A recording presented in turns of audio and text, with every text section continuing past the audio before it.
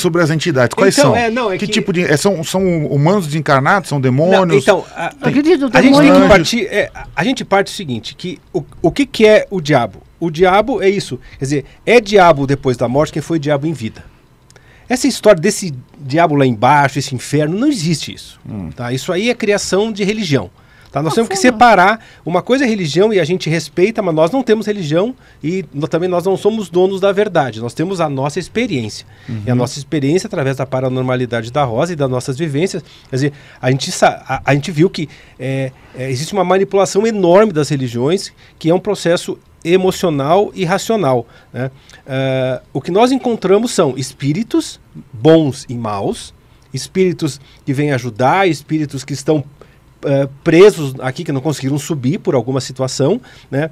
Encontramos já demônios, né? que, eh, diabos, que são essas cargas negativas.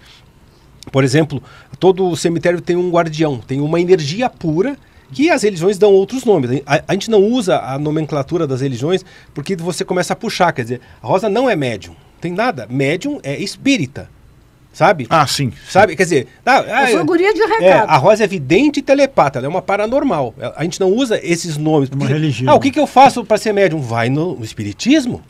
Não, o que, que eu faço? Não, procura a religião. Tu quer saber da religião? Procura a religião. Nós não, a gente não vai ensinar a ser médium, né? E também nós temos uma série de... ah, o- ah, a gente não acredita que o nosso mundo é comandado pelos espíritos, sabe? Os, os mortos não mandam nos vivos. Não existe essa história.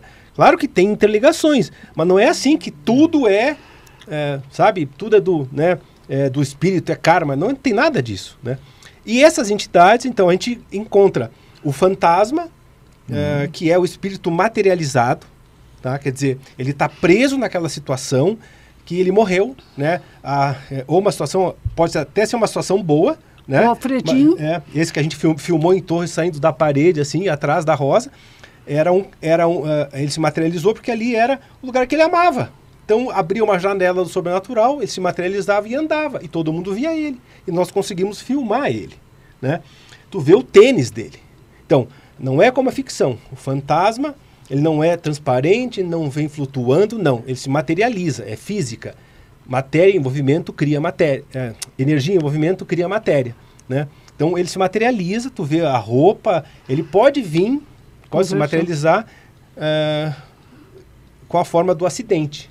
Ele pode vir, sabe, é, sangrando, sem um braço, pode também. Fraturado. Pode, ou com a roupa branca que da, as, as famosas noivas, né, que aparecem nas estradas e tal. E aí tem várias fontes também disso.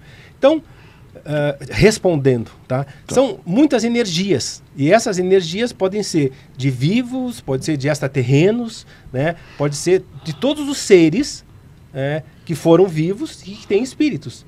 Aí, é, é, aí muda conforme. Por, por isso que a vidência e a telepatia é que vai mostrar o que é e se comunicar. né? Até com essas do mal. Porque a gente não julga se o cara. É, como nós estávamos ali no, no Carandiru. Nós não estamos ali para julgar aquelas almas. Né? Já pagaram ou não pagaram, mas quem somos nós para julgar espíritos? A nossa parte é conversar, dar o cigarro, como ele pediu para Rosa. Rosa, fuma. Rosa fumou um cigarro lá no Carandiru, né? E ele foi embora. Quer dizer, ah, ele foi, um tempo. ele, ele foi assassino, foi tudo bem, tá certo, mas foi julgado, foi preso, não é a nossa parte. A nossa parte é conversar com o morto e ajudar ele a seguir adiante. Para onde vai também a gente não entra muito, embora a gente tenha a nossa tese, né? Mas a gente não entra nisso.